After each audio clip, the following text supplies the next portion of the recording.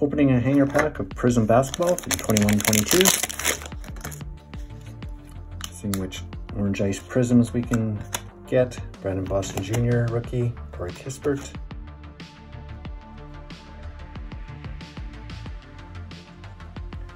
Matt Biyombo, Kemba Walker. We have a backwards card. Let's see what this is. Looks like we have a men card. Scottie Lewis, Sensational Swatches, rookie card.